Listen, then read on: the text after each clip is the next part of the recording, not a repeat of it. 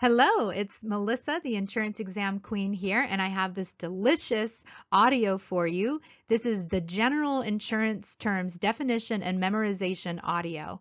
As you listen to this audio, you're going to be hearing the concepts and the definitions that you need to know from the general insurance terms chapter in an easy to understand way while also allowing the definitions to sink into your mind as you hear me repeat them. Listen to this audio as many times as you need to secure the knowledge so that you can recall it while you're taking your exam and pass your exam with ease and flow. This audio will go into 40 different topics that come from the general insurance terms chapter. What we're going to do for each one is you're going to hear the term or the concept name and definition. Then I'm going to provide a brief explanation of the topic in an easy to understand way. Then I'm going to repeat the definition and concept again after the explanation, and then we will move into repeating it three times so that you can sink that information into your brain. In addition to simply listening, you can also boost your study and memorization skills by writing down what you're hearing the first time that you listen to it. Then the second time that you listen to this recording, read the definitions that you wrote down while listening. Both of these things will help install the information into your brain so that you can quickly recall it on the exam and pass easily. Risk is the uncertainty or chance of loss occurring. What this means is that we have uncertainties that could happen in our life. Our car could crash, our house could burn down. These are all the certain things or chances of loss that we can have within our life. So risk is the uncertainty or chance of loss occurring. And now repeat with me three times. Risk is the uncertainty or chance of loss occurring. Risk is the uncertainty or chance of loss occurring. Risk is the uncertainty or chance of loss occurring. The two types of risks are pure risk and speculative risk. In the next few slides, we'll define pure risk and speculative risk, but right now it's important that you do remember these two types and that you can easily recall the two types of risk on the insurance exam. So we're going to repeat three times. The two types of risk are pure risk and speculative risk. The two types of risk are pure risk and speculative risk. The two types of risk are pure risk and speculative risk.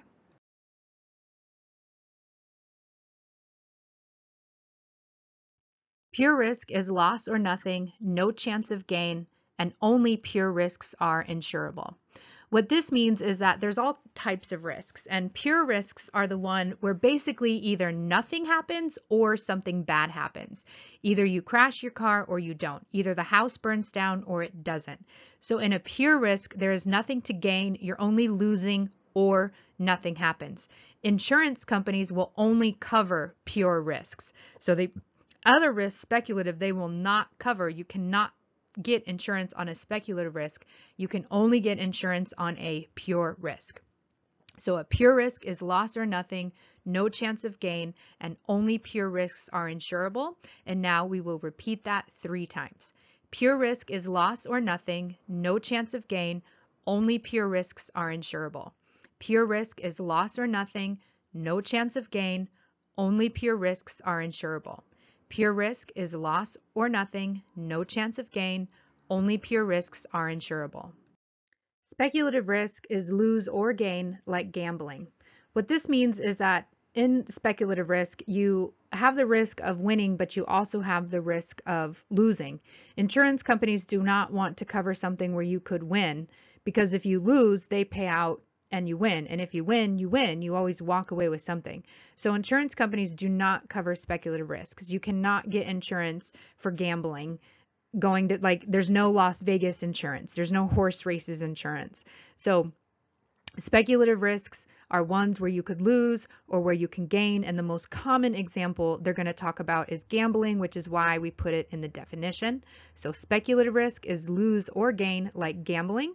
And now repeat with me three times. Speculative risk is lose or gain like gambling. Speculative risk is lose or gain like gambling. Speculative risk is lose or gain like gambling. I am a star at handling risk. I share, I transfer, I avoid, I retain, I reduce risk. So these are the methods of handling risk. And what's most important is remembering the names. And that's this is why we came up with the acronym IMA STAR at handling risk. If you can remember share, transfer, avoid, retain, and reduce, that's most important. It's not necessarily important to remember what each one is, although I will give you a brief explanation. Share is a way of like doing insurance among people you know or your friends as opposed to like doing it with a company. All of your friends pitch in $100 a month. It's in an emergency fund. You guys take a vote. If one of you has an emergency, you can take the money out that everyone is putting in. And there are formal ways of doing that um, with people you know, with groups of people that you're familiar with, etc. Transfer is actually insurance. When you insurance is the transfer of risk. So the risk of you crashing your car, the risk of your house burning down, you transfer that to the insurance company and let them deal with it. And that will actually be our next definition that we go into. Um, avoid is avoidance. This is where you just avoid any potential claim. You never leave your house. You don't buy a car so that you can't crash a car. But avoidance is almost impossible to do in its entirety because you have to go out, you have to live the world. It's impossible to potentially avoid every possible thing. Retain is self insurance. This is either like a deductible where you retain the first $500 of the risk, or you retain all of the risk by self insuring and not getting insurance. So, retain is to like keep. When you think of a retaining wall, it keeps back the water you are keeping the risk to yourself, either some of it or all of it. The last one is reduce risk. And this is where you simply take steps to try to avoid a risk from happening. You wash your hands so you don't get sick. You wear a mask so you don't breathe in germs. You exercise so that you can be healthy. You eat good food so that you can be healthy. So these are all things that you do to reduce the chance of a risk happening. So handling risk, I am a star at handling risk. I share, I transfer, I avoid, I retain, and I reduce risk. And now we're going to repeat that with me three times. I am a star at handling risk. I share, I transfer, I avoid, I retain, and I reduce risk. I am a star at handling risk. I share, I transfer, I avoid, I retain, and I reduce risk. I am a star at handling risk. I share, I transfer, I avoid, I retain, and I reduce risk. Insurance is the transfer of risk. So as we talked about with risk before, you have the risk of crashing your car, the risk of your house burning down, and instead of bearing the full cost of that yourself, you can transfer it to the insurance company and let them deal with it so that if you do crash your car, you pay a small deductible, they will pay the rest to take care of it. Your house burns down, you pay a small deductible, they will pay the rest to take care of it. So you're transferring the risk to the insurance company. So insurance is the transfer of risk. Now repeat with me three times. Insurance is the transfer of risk. Insurance is the transfer of risk. Insurance is the transfer of risk. The law of large numbers says the more data you have to look at, the more predictable losses will be. So we just talked about how insurance is a transfer of risk, and we are going to transfer the risk of our house burning down or our car crashing or dying too soon to the insurance company. They are going to charge us a premium. How do they determine what premium they are going to charge us? They use the law of large numbers. The law of large numbers is like if you want to know what are the chances of an 18 year old crashing their car and getting into an accident? You don't want to look at just one 18 year old and see how they behave. You want to look at a million 18 year olds to see how they behave. And the more people you have to look at, the more predictable you will get at what actually happens. So insurance companies use the law of large numbers to analyze our behavior, see what it is that we do, what are our what are our chances of us actually crashing our car, what are the chances of our houses actually burning down, and then you will pay a premium based on how much risk you bring to the table. So the law of large numbers says the more data you have to look at, the more predictable losses will be. And now repeat with me three times. The law of large numbers says the more data you have to look at, the more predictable losses will be. The law of large numbers says the more data you have to look at, the more predictable losses will be. The law of large numbers says the more data you have to look at, the more predictable losses will be. Exposure is a unit of measurement to determine rates for an insured based on how risky they are. So when we talk about the law of large numbers and they're predicting our chances of getting into an accident, what they're looking at is our exposure. Like what are all the things that we bring to the table that would make us either more or less risky. So a healthy person would have less exposure to the insurance company than an unhealthy person. A bad driver would have more exposure to the insurance company than a good driver. So the more risky you are, the more exposure you have, the more premium you will have to pay.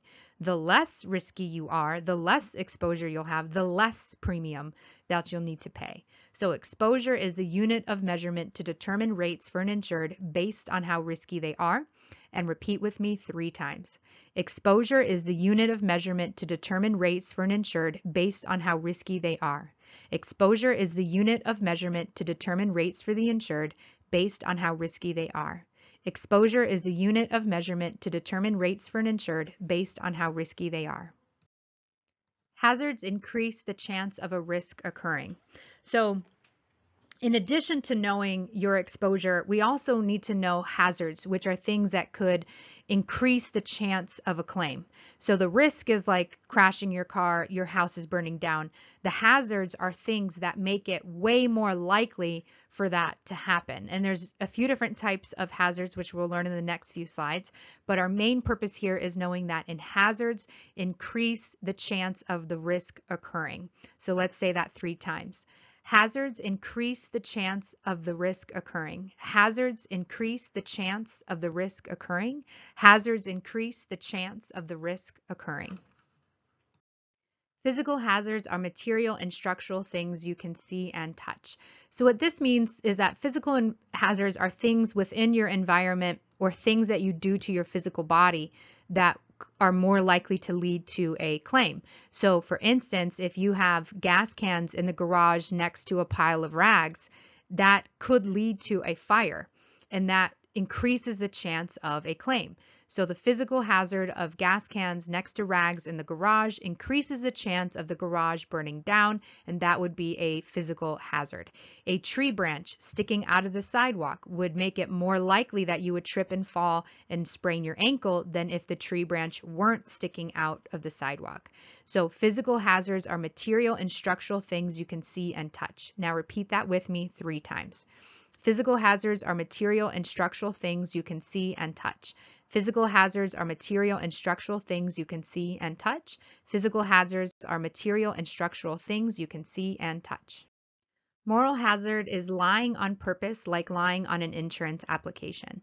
So it would be a moral hazard to the insurance company if you were lying to them about your risks or things about your health or your life, whatever. If you're lying to them, they cannot accurately assess your risk. And so you're more likely to file a claim than they anticipated because you have more risk than they were aware of. So moral hazard is lying on purpose, like lying on your insurance application. And by the way, that will be the most common thing they talk about with the moral hazard is talking about someone lying on their insurance application. So let's repeat that definition three times. Moral hazard is lying on purpose, like lying on an insurance application. Moral hazard is lying on purpose, like lying on an insurance application. Moral hazard is lying on purpose, like lying on an insurance application. Morale hazards is a sense of carelessness. So we had moral, which was lying on purpose, and now we have morale, which adds a little E at the end. And when I think of the E, I think of teenagers, since teenagers has the two E's in there, teenagers the morale hazards is like I just don't care, YOLO, do what I want, have a good time.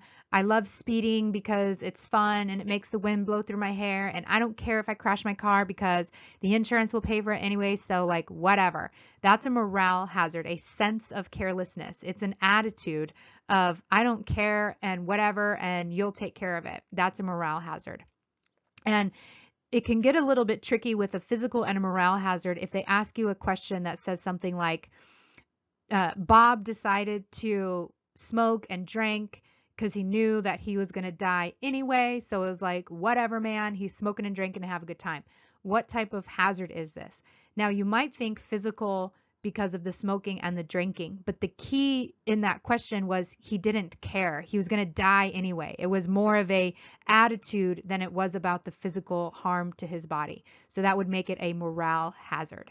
So a morale hazard is a sense of carelessness. And now repeat that with me three times. Morale hazards is a sense of carelessness. Morale hazards is a sense of carelessness. Morale hazards is a sense of carelessness. Peril is the cause of loss like fire or hail. So perils are the things that we are either covered for or not covered for, but they are the things, the events, the activities, the circumstances, the weather that happens to us that would lead to a loss, that would lead to a claim. So if you your house suffers the peril of fire, you have now lost the value of your house and you would then file a claim for it. And perils are mother nature when you when you think fire lightning wind hail these are all perils. In health insurance peril was perils would be sickness or accidental injury. In life insurance the peril would be death. So peril is the event the activity the thing that happens that causes you to file a claim. And not every peril is covered. Like the peril of flood is always excluded on homeowners policies. So you're not necessarily covered for every single peril but peril is the cause of loss like a fire or hail. Now repeat that with me three times. Peril is the cause of loss like a fire or hail. Peril is the cause of loss like a fire or, or hail. Peril is the cause of loss like fire or hail. Loss is the reduction or disappearance of value. So when we're talking about loss here, we're talking about the claim. Basically, if you your house burns down, you have lost your house. You have the value of your house has disappeared because it is now a burned down pile of wood. So loss is that reduction or disappearance of value. And now we're going to repeat that three times. Loss is the reduction or disappearance of value. Loss is the reduction or disappearance of value. Loss is the reduction or disappearance of value. Indemnity means to restore the insured to their previous financial condition. So this is what insurance companies do when we transfer the risk to them and then the risk happens. They indemnify us. So after the peril, which leads to the loss, and you file a claim, indemnity is the insurance company trying to fix us and make us whole again. So if you had, for instance, a $10,000 car and it was crashed and destroyed, the insurance company is going to indemnify you by giving you $10,000 for your car, you know, minus your deductible but they're going to restore where you were before. You're not going to have a $10,000 car and then the insurance company gives you a Mercedes Benz for, you know, $20,000. You're not going to get more than what you had before. If you have a three bedroom, two bathroom house and it burns down, they're going to rebuild you a three bedroom, two bathroom house. They're not going to rebuild you a mansion. Their their job is to simply restore you to where you were before the loss happened. So indemnity means to restore the insured to their previous financial condition. And now we're going to repeat that 3 times. Indemnity means to restore the insured to their previous financial condition. Indemnity means to restore the insured to their previous financial condition. Indemnity means to restore the insured to their previous financial condition. Certificate of authority allows insurers to sell in the state, making them admitted and authorized. So what this means is if an insurance company wants to be able to sell in the state, they have to go to the Department of Insurance in that state and ask permission to be allowed to sell. If the department says yes, they are going to give that company a certificate of authority, which means that they are now admitted and authorized and they are able to transact sales within the state. So a certificate of authority allows insurers to sell in the state, making them admitted and authorized. And now let's go ahead and repeat that three times. Certificate of authority allows insurers to sell in the state, making them admitted and authorized. Certificate of authority allows insurers to sell in the state, making them admitted and authorized. Certificate of authority allows insurers to sell in the state, making them admitted and authorized. Stock companies are owned by shareholders, issue non-participating policies, and dividends are taxed. So there are two main types of insurance companies, stock versus mutual. And ultimately, if you remember everything here in this definition, you should be solid to be able to answer the questions on the exam. But I do make a YouTube video that goes into further detail about stock and mutual companies. But for right now, we're just going to focus on memorizing this definition. So stock companies are owned by shareholders, issue non-participating policies, and dividends are taxed. And now we are going to repeat that three times. Stock companies are owned by shareholders, issue non-participating policies, and dividends are taxed. Stock companies are owned by shareholders, issue non-participating policies, and dividends are taxed. Stock companies are owned by shareholders, issue non-participating policies, and dividends are taxed. Mutual companies are owned by policy owners, issue participating policies, and dividends are not taxed. So again, Stock versus mutual are the main two types. You can watch the full video on my YouTube channel. So let's just focus on the definition here.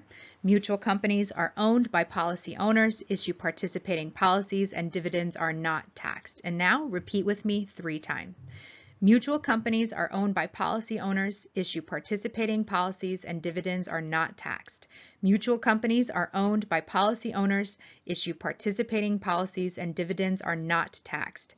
Mutual companies are owned by policy owners, issue participating policies, and dividends are not taxed. Domestic means the insurer is corporated and selling in this state.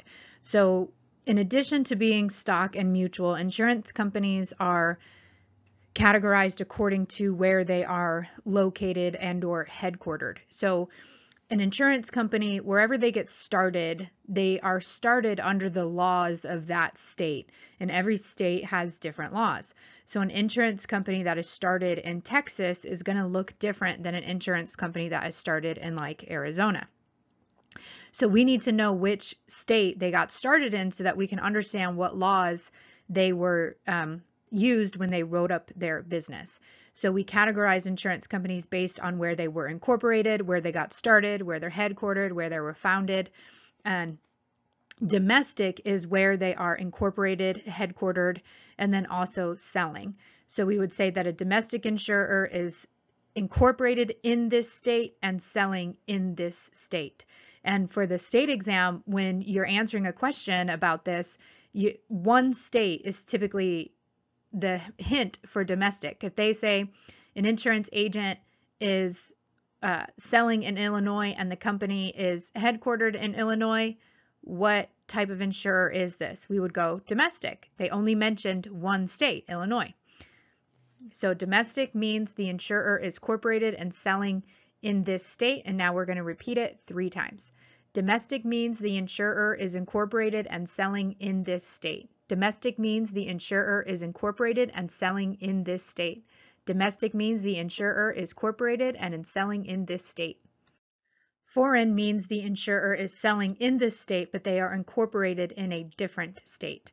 So where domestic was incorporated in this state and selling in this state, foreign is saying they are selling here, but they are not headquartered here.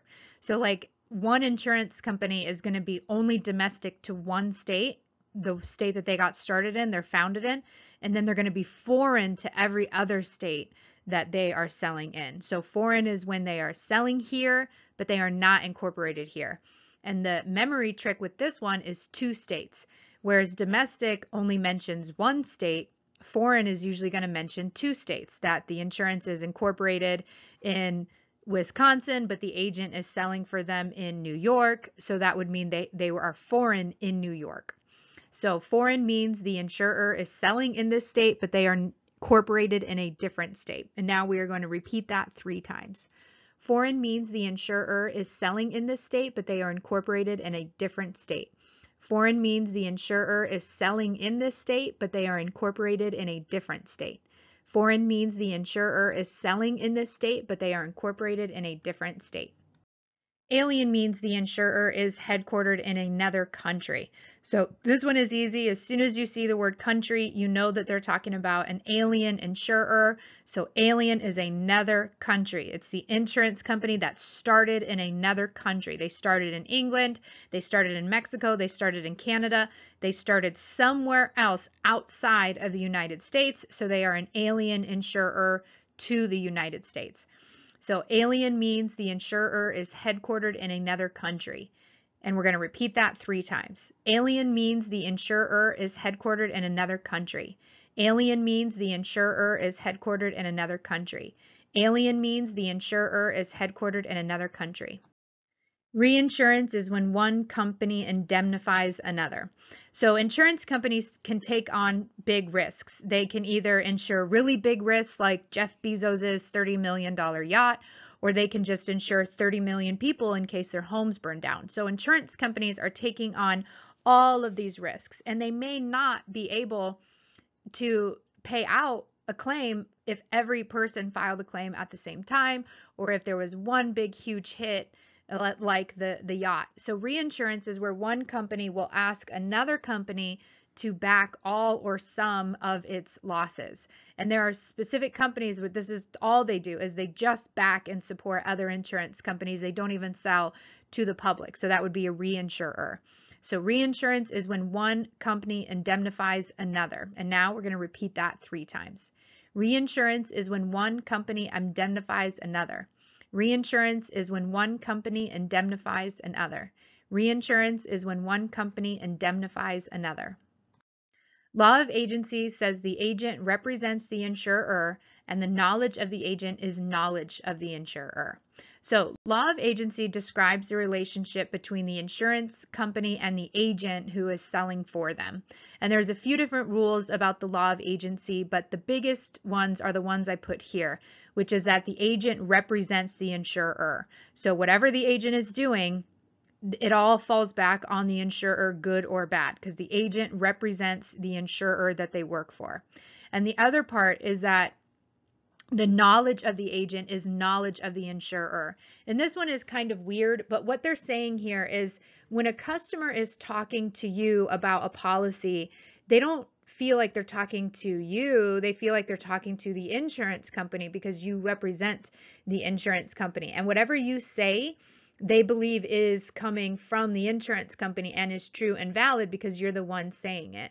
So you as the agent have to be careful about, you know, all the things that you're saying because the customer believes they're talking to the company when they're talking to you.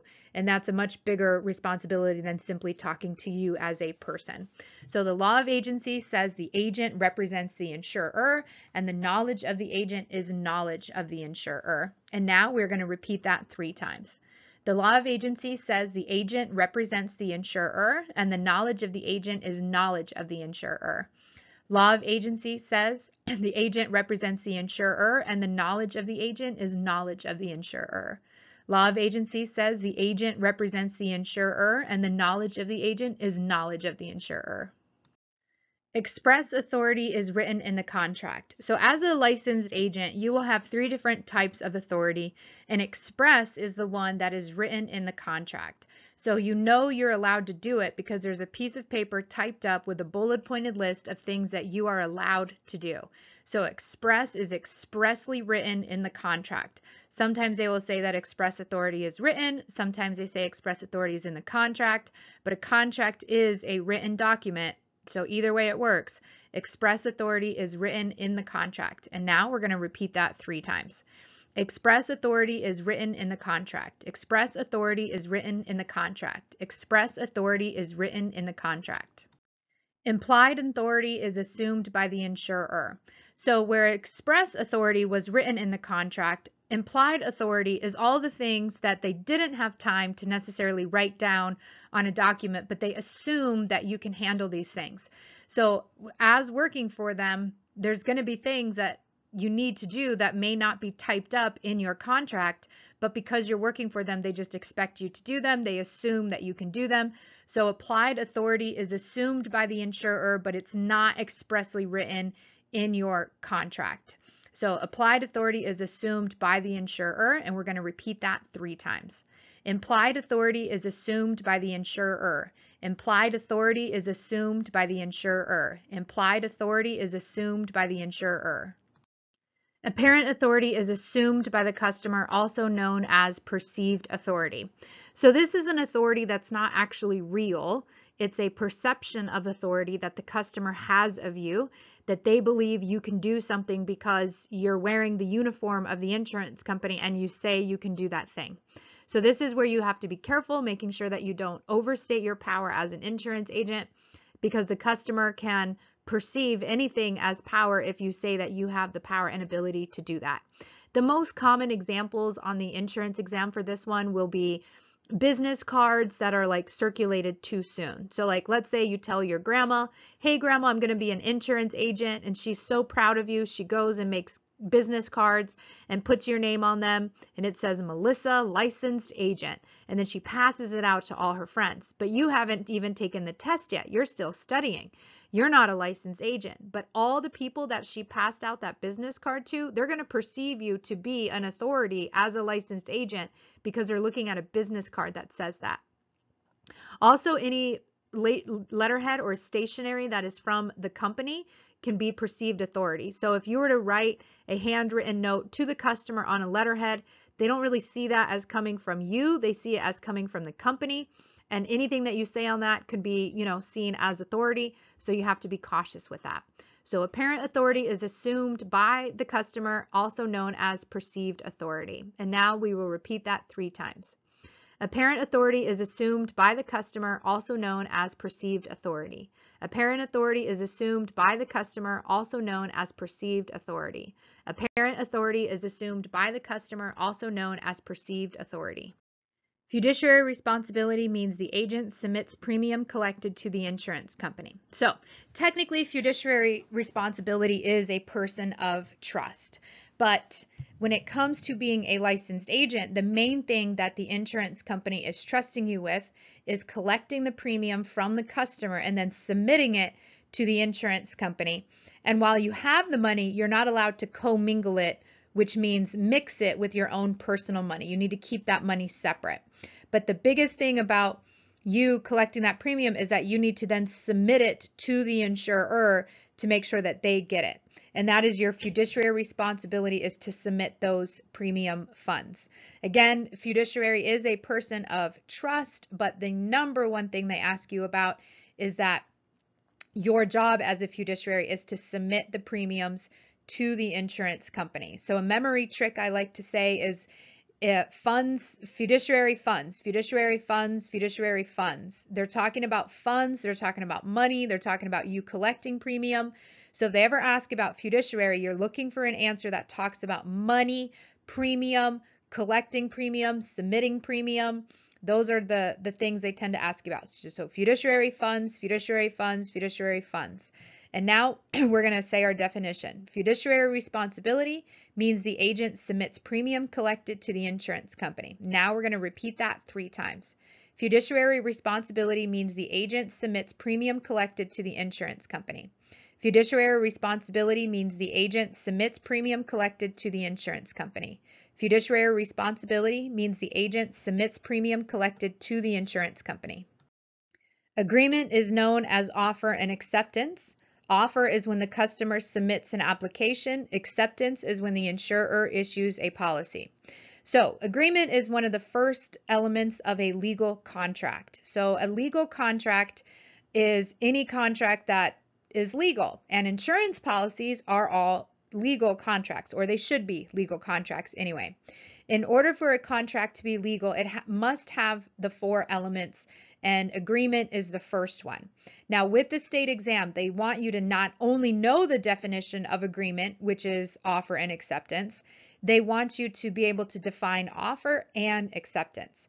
So offer, if insurance company, uh, if insurance is a transfer of risk, the offer is when you are offering your risks to the insurance company and if they accept those risks, then they will issue a policy. So the offer is when the customer submits an application and the acceptance is when the insurer issues the policy. So again, agreement is known as offer and acceptance. The offer is when the customer submits an application. Acceptance is when the insurer issues a policy, and we're going to state that three times. Agreement is known as offer and acceptance. Offer is when the customer submits an application. Acceptance is when the insurer issues a policy. Agreement is known as offer and acceptance. Offer is when the customer submits an application. Acceptance is when the insurer issues a policy. Agreement is known as offer and acceptance. The offer is when the customer submits an application. Acceptance is when the insurer issues a policy. Consideration means both parties bring something of value. Consideration on the side of the insured is application plus premium. Consideration on the side of the insurer is promise to pay a claim. So just like agreement is one of the four elements of a legal contract, consideration is the next element. And every insurance policy is a contract, just like a rental agreement, a job agreement, they all have to have these four elements in them. And consideration is one of the elements that says both parties have to bring value to the other party. So you have to consider what do they want, they consider what you want, and then you bring those values to each other. They're not the same value, but both parties have to bring value to the other party. Now, they're going to ask you what is the definition of consideration on the exam, and that's both parties bring something of value. Then they're going to ask you what is consideration on the side of the insured and what is consideration on the side of the insurer, which is why both of those are included in the memorization here. They will not say what value does the company bring, what value does the customer bring. The time the only time they use the word value is in the definition of consideration. But when they ask you what value does the insurance company bring, they word it by saying what is consideration on the side of the insured. So consideration on the side of the insured is app plus premium. Consideration on the side of the insurer is promise to pay the claim. So now we're going to repeat this three times. Consideration means both parties bring something of value. Consideration on the side of the insured is app plus premium. Consideration on the side of the insurer is promise to pay a claim.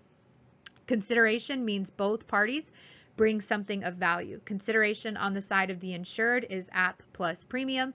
Consideration on the side of the insurer is promise to pay a claim. Consideration means both parties bring something of value. Consideration on the side of the insured is app plus premium. Consideration on the side of the insurer is promise to pay a claim. Competent parties are of sound mind, old enough, and not under the influence of drugs and alcohol. So as an insurance agent, when you're selling policies, you're only allowed to sell to competent parties, which is someone who knows what they're doing, they're able to make a decision, they are old enough, and they are not under the influence of drugs and alcohol. Now, they do like to trick you with this one and throw in a felon. Felons are totally fine. You can sell insurance to a felon as long as they are of sound mind, old enough, and not under the influence of drugs and alcohol. So, competent parties are of sound mind, old enough, and not under the influence of drugs and alcohol. And we're going to repeat that three times.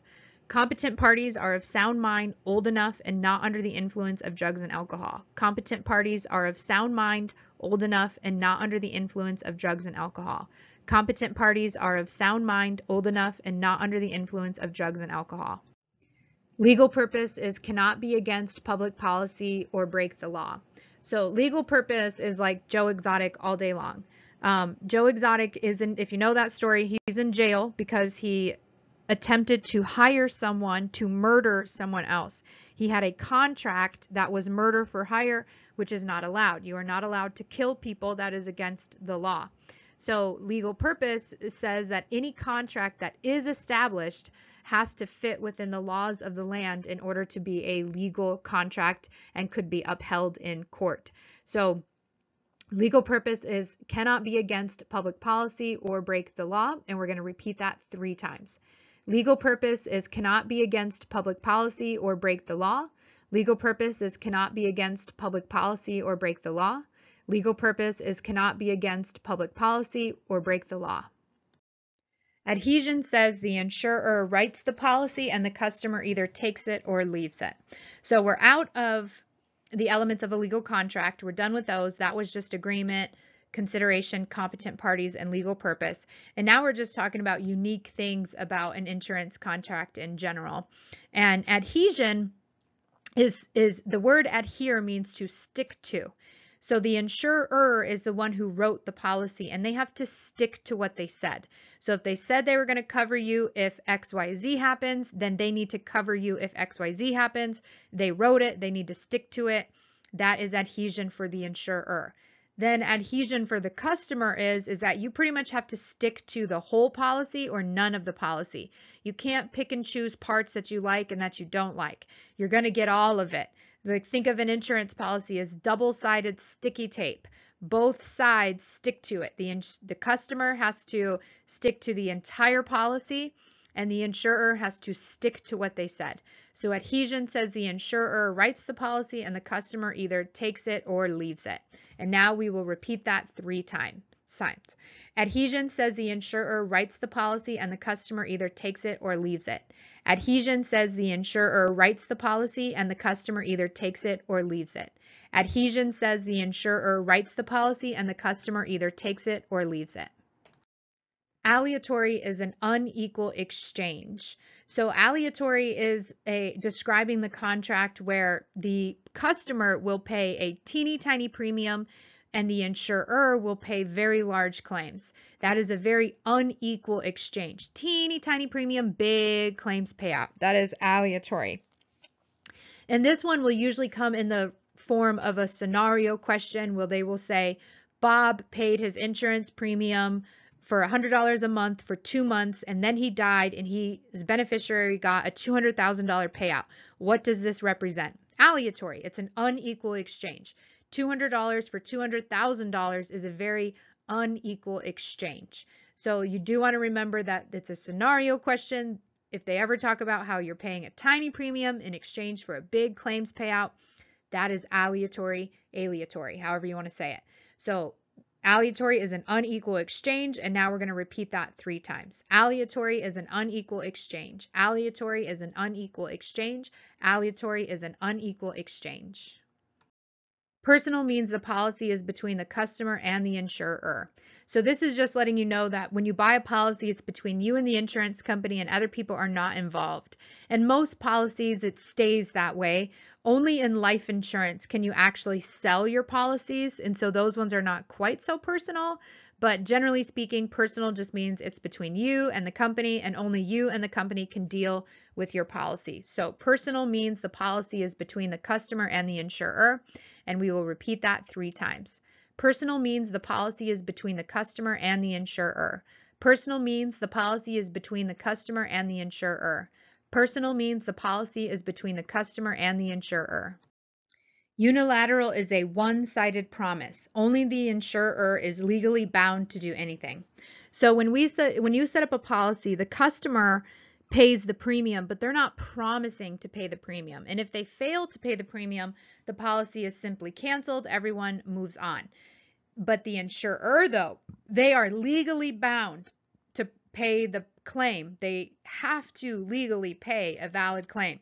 And if they don't, you can take them to jail. You can sue them. You can take them to court and a judge will make them pay.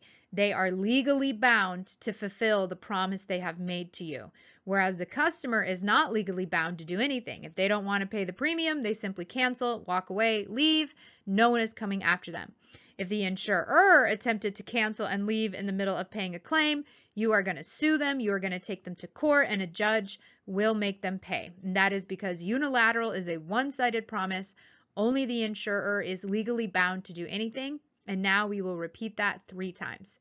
Unilateral is a one-sided promise. Only the insurer is legally bound to do anything. Unilateral is a one-sided promise. Only the insurer is legally bound to do anything. Unilateral is a one-sided promise. Only the insurer is legally bound to do anything. Conditional means both parties have rules, duties they must follow or do. So conditional, every insurance policy is conditional. There's always a rule involved in the policy. If you want us to pay the claim, you have to submit the claim within a certain amount of time we have to then pay you within a certain amount of time. Like everybody has rules. The customer has rules, the company has rules, the insured has rules, the insurer has rules. Everyone has rules that they have to follow, and those rules are found in the conditions of a policy. But conditional means both parties have rules and duties they must follow and do. Now we will repeat that three times. Conditional means both parties have rules and duties they must follow or do. Conditional means both parties have rules and duties they must follow and do. Conditional means both parties have rules and duties they must follow and do. Reasonable expectations says a customer can expect the coverage if an agent implied it during the sale. So this is exactly like how you're going to see it presented is they will ask a question that says a customer was told by the agent that they could expect this. What does that mean? And the answer is they can expect that coverage. So reasonable expectation says the customer can expect the coverage if an agent implied it during the sale. So let's repeat that three times. Reasonable expectations says a customer can expect the coverage if an agent implied it during the sale. Reasonable expectations says a customer can expect the coverage if an agent implied it during the sale. Reasonable expectations says a customer can expect the coverage if an agent implied it during the sale. Representations are statements that are believed to be true but not guaranteed to be true. So what we're talking about here with representations is when a customer is filling out an insurance application, they are making statements. Sometimes those statements are, I believe it's true, I think it's true, to the best of my knowledge it's true, like, do you have cancer? Well, as far as I know, no. Is it possible there's a tumor in my body? Yes. So that is a believed to be true, think it's true, to the best of my knowledge is true, but it might not be true. And that is what we call a representation. So representation is I think it's true, I believe it's true, to the best of my knowledge is true, but it might not be true, and that is a representation. Or the customer is making what we call warranties on the application, and warranties are absolutely true statements, which we'll talk about in a few slides.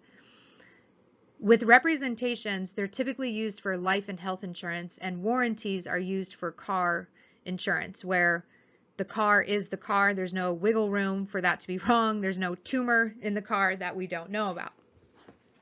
So warranties are absolutely true statements, whereas representations are, I think it's true, believe it's true, but not guaranteed to be true. So you want to know that, know the definition, and then you also want to attach the word statement to representations. Some questions that you might see would be a applicant made statements on the application. What is that known as? And the answer is representations. If a customer makes statements on the application, those are representations. They may or may not say, is it true or not, or should be true or absolutely true. They just say the customer made statements. And the, act, the answer that they are expecting is representations. So attach the word statements to representations. And with warranties, it will be is true, has to be like absolutely true, must be true, and if it's not true, it will avoid the policy. That's a warranty. We're talking about representations, which I think is true, believed to be true, not guaranteed to be true. And those are for statements like, do you have cancer? Yes or no. And you will have coverage because you're it's not guaranteed to be true, so you're not lying. You are saying what you know to be true at that time. If you are lying, that would be a misrepresentation, which we'll talk about next. Um, but a simple representation is simply a statement that they're making on the policy, whereas a warranty is absolutely true. So now we're going to repeat representations are statements that are believed to be true, but not guaranteed to be true. We're going to repeat that three times. Representations are statements that are believed to be true, but not guaranteed to be true. Representations are statements that are believed to be true but are not guaranteed to be true. Representations are statements that are believed to be true but not guaranteed to be true. Misrepresentations are untrue statements. So a misrepresentation is a statement that I believe to be true, to the best of my knowledge is true. A misrepresentation is where that's not true. That didn't pan out. Misrepresentations are untrue statements. So a misrepresentation is where a customer wrote down an answer to the question on an application and it ended up not being true. It doesn't necessarily mean that they lied. Now, if the test said intentional misrepresentation, then that is a definite lie. But a misrepresentation all by itself doesn't imply that someone lied. It just means that whatever was written down, whatever was stated, ultimately was an untrue statement. So misrepresentations are untrue statements, and we're going to repeat that three times. Misrepresentations are untrue statements. Misrepresentations are untrue statements. Misrepresentations are untrue statements. A warranty is an absolutely true statement. So we talked about representations, which are, I believe it's true, I think it's true to the best of my knowledge it's true. And those are for life and health insurance. For home and auto, we have warranties. And warranties are absolutely true statements where there is no wiggle room for the answer to be wrong. I drive a 2009 Toyota Prius. That is what I have. That is what I drive. There is no wiggle room for that to be wrong. So warranties are an absolutely true statement. If you lied on a warranty, then that voids the policy that is considered fraud. So uh, if you lie about a warranty, you have you can get the policy canceled, voided, claim not covered. So warranty is an absolutely true statement. And now we're going to repeat that three times. Warranty is an absolutely true statement. Warranty is an absolutely true statement. Warranty is an absolutely true statement. Concealment means withholding or hiding information on the application. So concealment is simply withholding or hiding. Those are the words you want to attach. So this is where they ask a question and you attempt to hide or withhold the information from the insurance company. And it is as soon as you see withholding or hiding, you know the answer is concealment. And if you don't see the words withholding or hiding, you're not choosing concealment because concealment and fraud sound similar. Concealment is a form of fraud. You are attempting to deceive the insurance company. Yes, that is fraud. But concealment is a type of fraud that is specific to withholding and hiding, which is why when the answer or the question is concealment, you need to see withholding or hiding in the question or the answer. So concealment means withholding or hiding information on the application, and we're going to repeat that three times. Concealment means withholding or hiding information on the application. Concealment means withholding or hiding information on the application. Concealment means withholding or hiding information on the application. Fraud is deceiving or lying to cheat the insurance company. So fraud is anytime someone's deceiving or lying, but we want to focus on, you know, the exam. So a lot of times when they ask this question, they'll ask about why is someone committing fraud and it's to cheat the insurance company. So fraud is deceiving or lying to cheat the insurance company and we're going to repeat that three times. Fraud is deceiving or lying to cheat the insurance company. Fraud is deceiving or lying to cheat the insurance company. Fraud is deceiving or lying to cheat the insurance company. And we are done with the general insurance terms memorization and definition audio. If you have any questions, make sure to email me at insuranceexamqueen at gmail.com.